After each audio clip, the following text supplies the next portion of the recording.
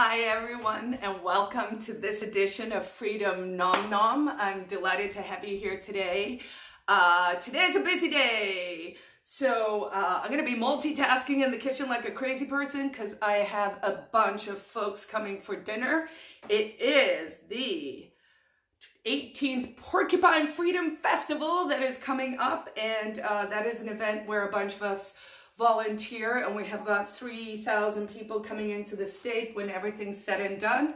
So we have a team meeting tonight and it's uh, it's the long weekend and we had thought that we could barbecue, but being New Hampshire and where the weather, you know, changes every five minutes, I am going to be making a traditional South African dish instead. It is bobotie. So bobotie is the traditional South African dish. It's originally from a Malay um, origin. So it's got sort of hot curry flavors. It's quite delicious. And I will tell you a little bit more about it. But what I'm going to do right now, it is going on 350. Um, that will be, I'm going to try and follow a recipe for a change. Uh, not really, because I'm to kind of make it up as I go along anyway, but this is a low carb one that I found that I tend to use as the base for what's happening here. So um, basically what you want is you want some ground beef, you want some kind of fat to brown your beef in. We're to have one large onion, which is to be finely chopped. We've got some curry powder, some cumin, some ginger, some turmeric, some cloves, Salt and pepper to taste, of course. We're gonna have some beef bouillon, which you can hear the kettle's boiling for. There's always some kind of fruit in there. Um, so I'm gonna be using an apple and maybe some dates, figs, or prunes. I haven't decided yet. What I don't have, which the recipe usually calls for, is sultanas. Sultanas are the yellow raisins. Um, they're called something else in America, but anyway, that uh, is not in the house. You know, raisins have super high sugar content. Not that any of this is much better, but I try. So um, I'm to use what I have because that is life. You're also to need some eggs. This recipe says five eggs divided and then two-thirds cups of heavy cream and some bay leaves. So that's the basics for that. Um, this fat is starting to get me in this pan. Sorry. I'm kind of in a grumpy mood, just so everyone is forewarned, because I have a lot to do today, and this is just one of a million things that have to happen. But we're making it happen, and I made a promise to myself, and I'm trying to be really good about keeping promises to myself, because that is how you create great habits and become an unstoppable human being because when you are delivering to yourself what you said you would do, it kind of makes you happy. All right, so the fat, so I wanted that to brown up while that's happening.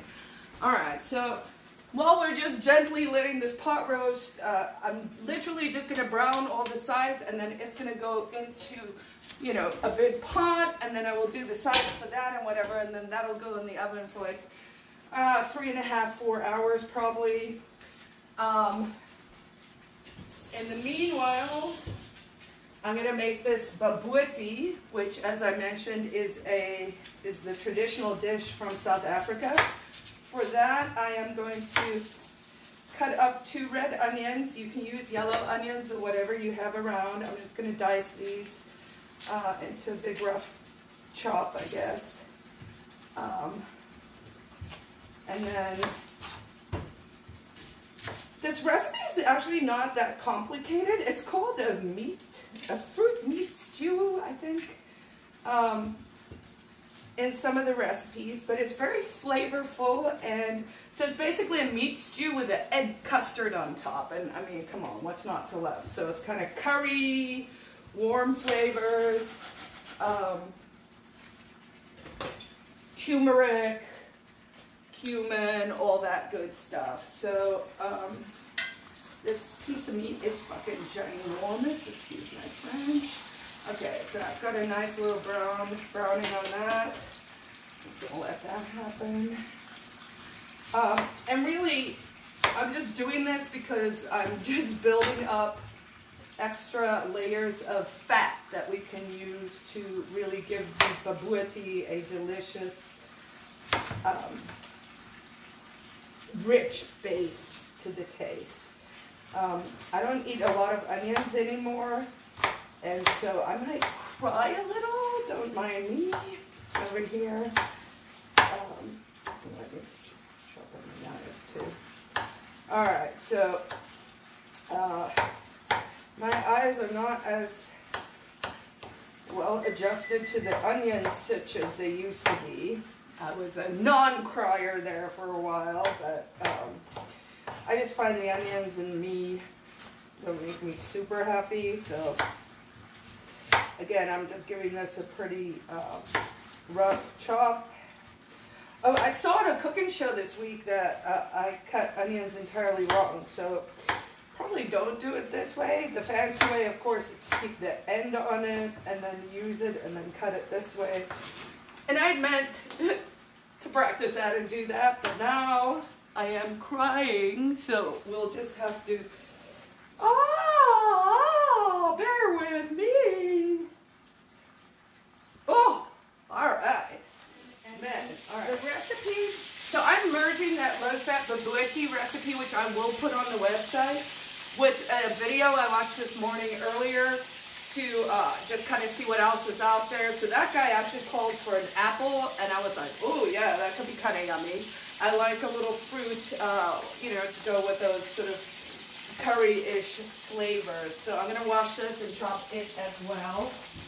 Uh, you know, professionally produced uh, cooking show, which uh, this is. he actually peeled the apple, and then I was like, I wonder if I can still peel the apple all the way. My grandpa taught me to do that next to the rugby field in South Africa, and um, it was a sense of pride if you could do the whole thing. We used to call that making a rocky, so it's like it's called making a dress if you could go all the way around. So I might give that a, a, a I might give that a try. Should we give it a try? I, you know, my no. Let's see. So my preference is actually not to peel stuff because um, there's a lot of, ooh. So you're supposed to do it in one thing. So I haven't done this in many years. Um, a lot of the nutrients are actually in the skin, but I'm just going to assume it might not cook down the right way. So I'm just going to peel this quick. Um, you know, a, a sane person would have just used a vegetable peeler right now but uh, I just quickly got all of that off there. Okay, so we can do that. This can actually, I'm going to put in my stock pot too, because you never know, it'll give it a little sweetness. It might go well with some anise and that kind of stuff. Um, I'm just constantly trying. I got a runny nose. So what we have here is a hot pan. It's actually smoky, so it's a little too hot. I just took it off the heat for a little bit. So there's a lot of fat in that pan. I will probably drain stuff as I before I transfer them. But right now I am just throwing these onions in that pan. Whoops. Um, and giving that a little go around to let it. So the plate is on three. The onions are in that beef fat. This is uh, beef fat that um, started as lamb lard and then, you know, I, I've made some pieces of beef in it, so it's pretty highly flavored. I got a teaspoon of garlic, uh, chopped fine garlic, maybe a teaspoon and a half of that. So we're going to let that brown. Um, brown up cut one of this good couldn't see everything. All right. So I'll let that brown up. Um, you know, so some people are afraid of fat. I'm the opposite. Fat is good for your brain. It nourishes our bodies. It nourishes our joints. The worst thing the uh, F, uh, the Food and Drug Druggist, uh, uh, whatever they're called, some alphabet soup, did was to tell people that, you know, everyone should eat low fat. Because turns out that is not what you should be doing. You should be eating high good fats, which are animal fats and things like avo and coconut fat.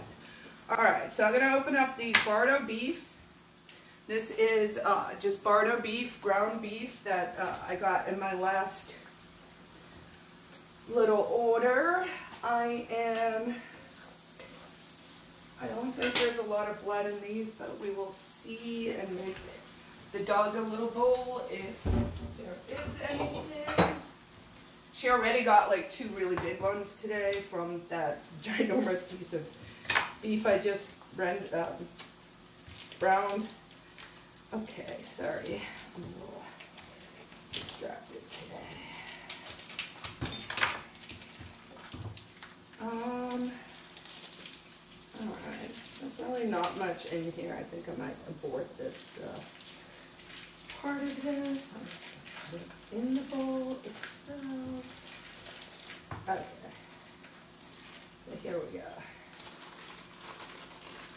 I'm going to take two packets of meat, obviously depending on how big your family is or whatever, you can do what works for you. This um, onions are going to brown. Has got that nice flavor, colorization going on.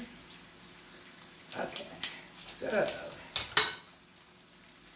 now the recipe says to do the, the, the oh, see that one's got blood. Um, to do the Oh, okay, this one's gonna go for Schmelly. I have a little bowl happening for her off camera, so that's gonna go in there so she can enjoy that uh, fresh, beautiful farm-raised beef blood, which is also good for her. She's older. So actually the recipe said to do the onions and the spices I'm going to do the onions and the meat. Oh, I'm going to make a little pocket here. Put the meat in the middle.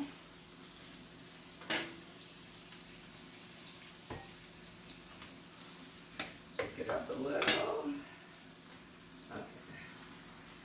We're just going to put that in there. Uh, so I just cleaned up my workstation a little bit.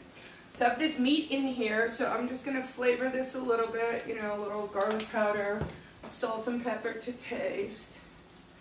Um, here's the pepper. And then, all right, I just wanna show you guys what we got going on here. So, again,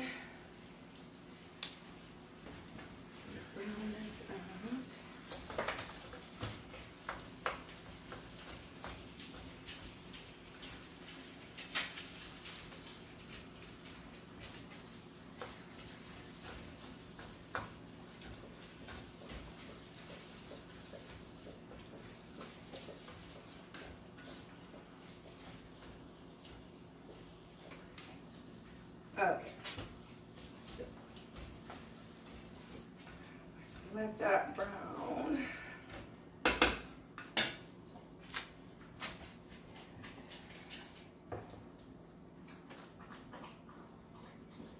I'm going to cut up. So I discovered this the other day. I was watching some cooking show and they talked about date syrup. And I was like, oh, what's that? Let me write it on the whiteboard and then see if I can find it. So I got this off Amazon. And it's touted actually as the better sugar. So um, it has a lower glycemic hit than uh, maple syrup or honey. So if you're someone who is uh, mindful about what kind of sugar you're taking in, I obviously just got this. I haven't even opened it yet. I was going to try it out today and see what it tastes like um, and all of that. So maybe we'll just do a little bit of that there. Let's see what, what the packaging is like. Um, so it's got a little seal on the top. I'm just going to take that off. Mmm, smells sweet. Tastes sweet.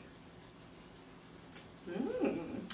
Tastes, um, I mean, it tastes datey, but not really. It kind of just tastes like, mmm like um, honey maple date syrup. I mean, it's yummy. That's pretty good, so good to know. All right, so this thing's a little crazy here. Um, I'm gonna make this recipe calls for um, one teaspoon beef bouillon, and I'm gonna do that.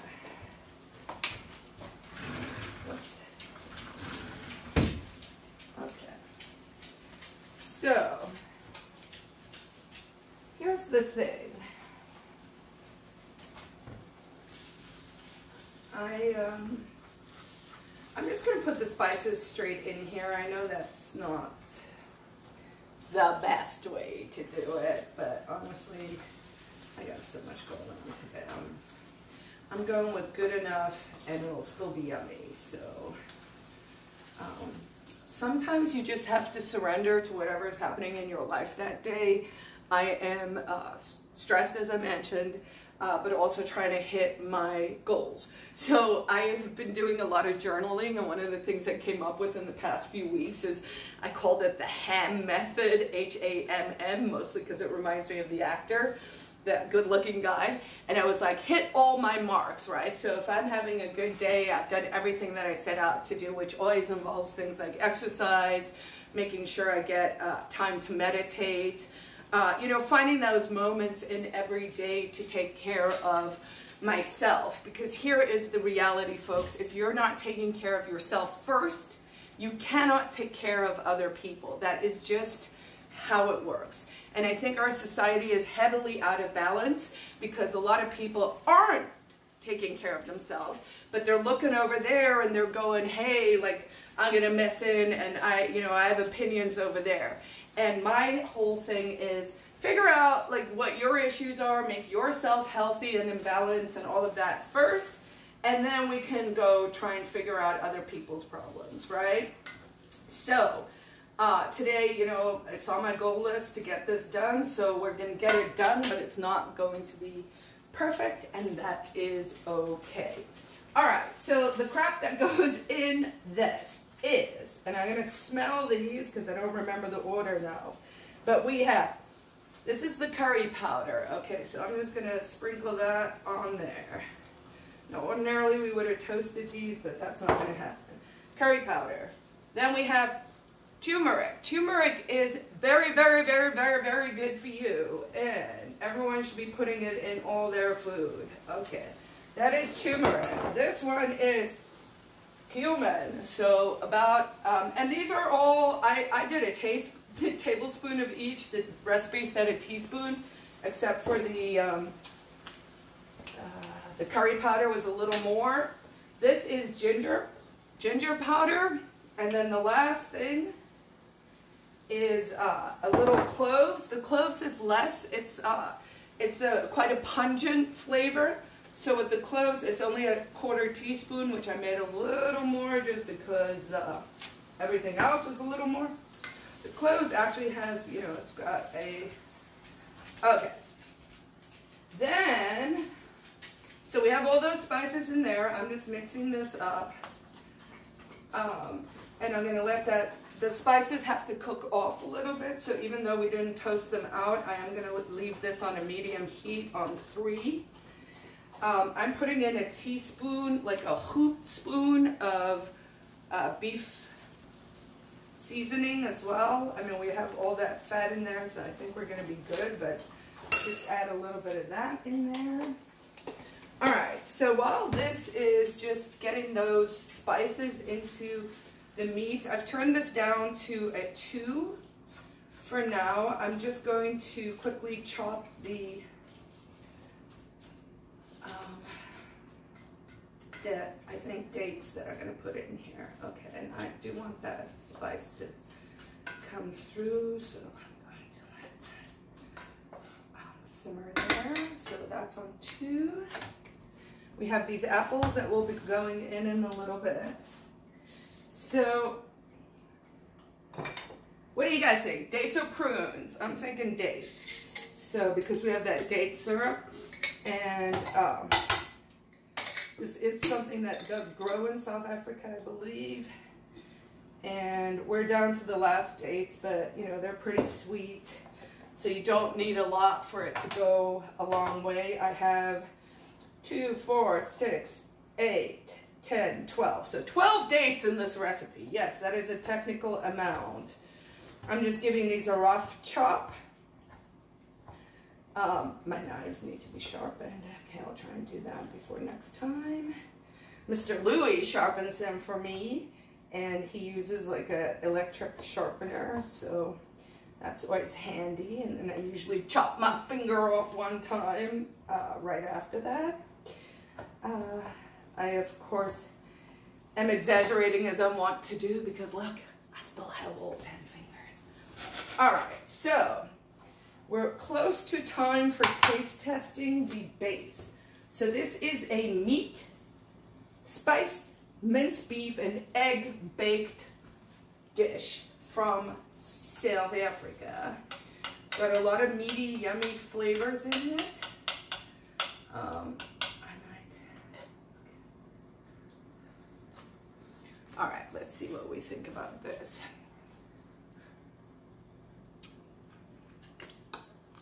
Mmm. Yeah, that's good. Mm, the apples and the sweetness is definitely going to be needed. Mm, I almost feel like maybe a little more curry.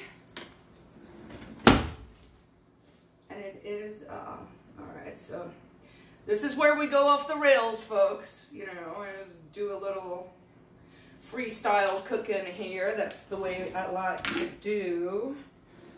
Uh, I think it is quite um, fatty. It's overly fatty, so I am going to strain some fat out. Um, that is a good problem to have, unless all the flavor is in that fat sauce but um, I don't want it to be, you want it to be good fat tasting, but you don't want it to, you know, be fatty. I don't want fatty food. It's got to be balanced, and we clearly have a little too much fat in here.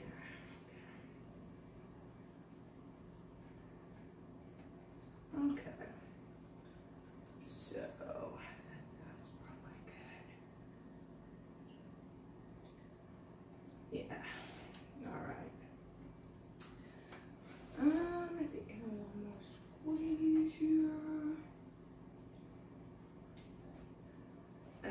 Taste it one more time. I'm to put the, all right, so that looks a lot better. I'm to move this away.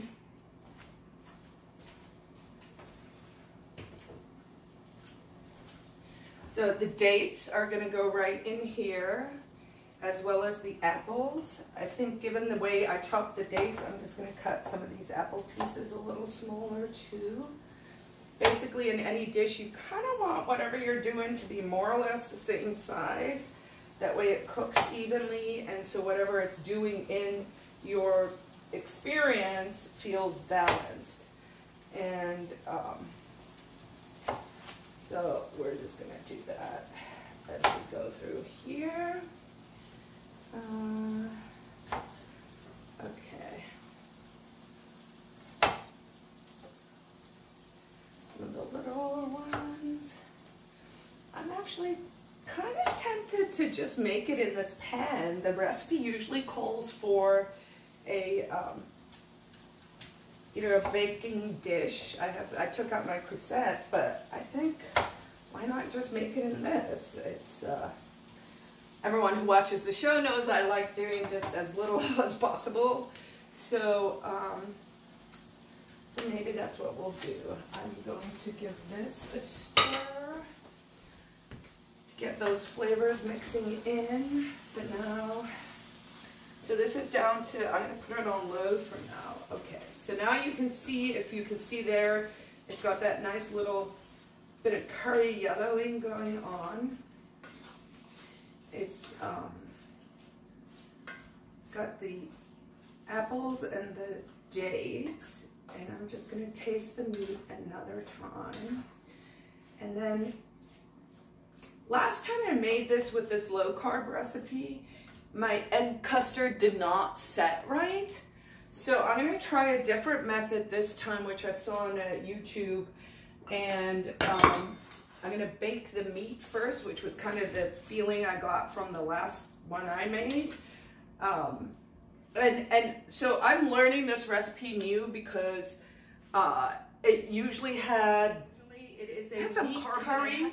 Uh, there's some apple and some dates in there that gives it a little sweetness as well as sort of cumin, ginger, turmeric, a little cloves, a little garlic, uh, salt and pepper. So we're gonna whisk this egg custard. We're gonna pour that on top. It goes back into the oven. I'm not gonna do that right now. I'm gonna do it right when the guests get here in a little while. This dish is traditionally served with things like toasted coconut, which I will make in a little while. Also, bananas, nice ripe bananas mixed with a little sour cream or mayo uh, with some herbs like a fresh parsley or something that goes really well with it. So really what we're playing with here in terms of flavors are that sort of curry, warm, spicy, uh, pellet sort of thing with some fruity. I was cooking in the kitchen and I had the TV on and I heard sort of, it was some guru talking about, you know, how to be a better person. Um, and I heard the guy say, there are no irritating people. And I was like, what the hell there are no, like threw down my stuff. I went, I like played it back and I was like, there are no irritating people. And the guy's idea was that irritation is something you do to yourself, right? So you have a choice whether you're going to be irritated with the situation or not. And even though I am stressed, I am also mindful of the fact that that stress is really just something I'm generating in myself. Now, of course, there are always deadlines, there's always stuff that has to get done. But how you respond to those things is a choice. So I need to make the choice right now that even though I'm, I'm you know, today's gonna be a crazy day, uh, I, you know, can choose to make it crazy or I can choose to make it calm. I've been up since four o'clock. I'm well prepared for this. I throw a lot of parties. So that's not really the big deal. It's just there's a lot of other stuff going on as well. I'm also actually, people don't believe this, but I'm an introvert. So this was a busy weekend. And I had a lot of events. And I do find that cumulatively that sort of builds up in me. And so for me, which is different for other people, I have to be mindful of what that balance is so that I can continue to function optimally for me. What I hope with this show, you know, every week I'm trying to improve a little bit. This one, clearly from a cooking perspective, maybe not the best. But you know, I want to teach you something about food. I want to teach you something about the paleo keto diet, how to become a healthy person, both in mind, body, and soul, right? And so that is a combination of figuring out what works the best for you. We're all different, but there are going to be tools and helpful things that'll help you become the best you you can be. So I'm going to um, sort of beat this stuff up, but you know, for every episode, as I said, I want to talk a little bit about, you know, the diet itself, which really is a lifestyle. It's not a diet. So finding these recipes that actually are delicious and that you want to make and that can become staples in your kitchen. I also want to teach you sort of things about life that I've learned that maybe could be useful in your own personal life. So a little bit of that, that striving so that we can live free and thrive, right? Because that is a choice. And, you know, kind of make it a little useful, but also a little fun. Uh, so we're going to beat this one more time. I'm going to take that out of the oven. We're going to take the tin foil off and then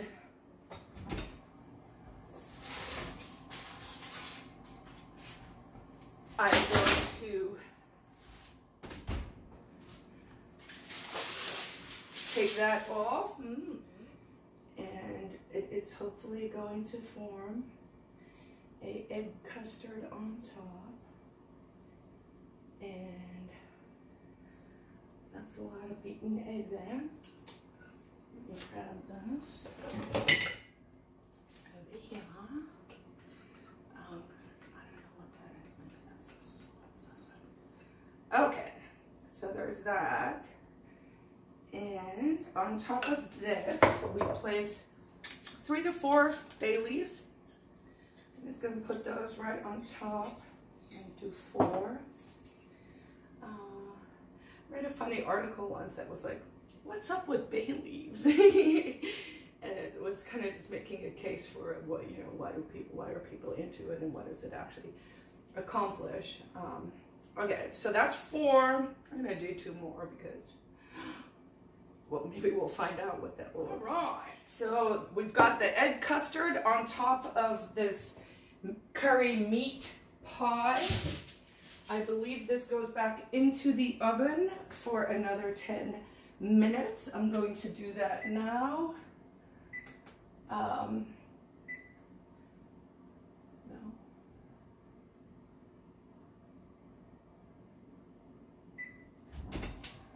And um, we will see what happens to that.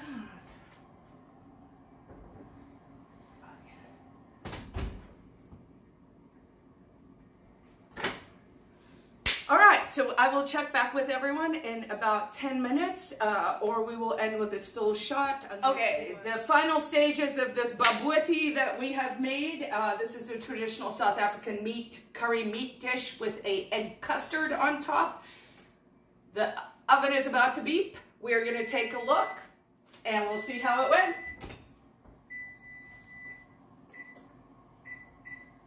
Okay. So this looks pretty damn good. I'm gonna let that go there. I'm gonna see what comes out of this. Uh, thank you for watching my show, Freedom Nom Nom or Freedom Nom Nom, as I like to say, uh, you can find more information on my YouTube channel. That is Carla Gericke, G-E-R-I-C-K-E, TV on YouTube, or find me on Odysee, Even better, a, uh, a censor-proof alternative to YouTube. It's a company that is run here out of Manchester, New Hampshire as part of the Free State Project uh, is, uh, you know, we're trying to live free and thrive. And uh, I like to make freedom nom nom, real food made with liberty and love. Thanks so much for joining me. Subscribe, hit the subscribe button, and join me again soon. Questions, comments, let me know in the comments section. And I look forward to seeing you again soon. Live free and thrive.